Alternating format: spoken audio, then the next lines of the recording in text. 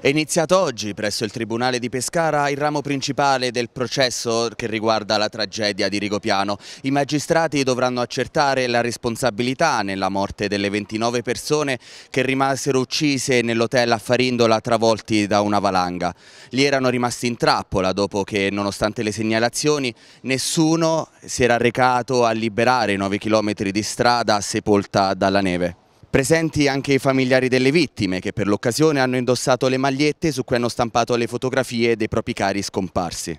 Questo è un punto di partenza, è emersa parte, io penso che, penso che, sia emersa una gran parte della verità, ma non tutta, ci manca ancora un pezzo. Un processo difficile che si prospetta anche molto lungo, sono infatti 25 gli imputati, 24 persone fisiche e una società, tra cui l'ex prefetto di Pescara, l'ex presidente della provincia e il sindaco di Farindola. I reati ipotizzati vanno dall'omicidio alle lesioni colpose. Noi sin dall'inizio, proprio già all'indomani si può dire dell'accaduto, abbiamo ricevuto un mandato dal sindaco e dal tecnico comunale che ci chiedeva di indagare su tutto e di rendere disponibile a tutti ciò che avremmo trovato.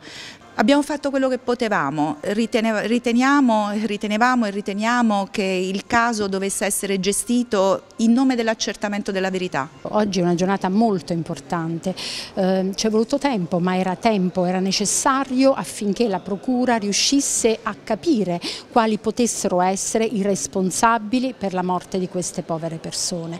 Dietro questi imputati c'è lo Stato nelle sue diramazioni dal, dal comune di Farindola alla provincia di Pescara, alla regione Abruzzo, ai ministeri, quindi non dimentichiamo mai questo. Il prossimo appuntamento è il 27 settembre, quando si costituiranno le parti civili. Il 16 ottobre invece ci sarà il processo bis per frode e depistaggio.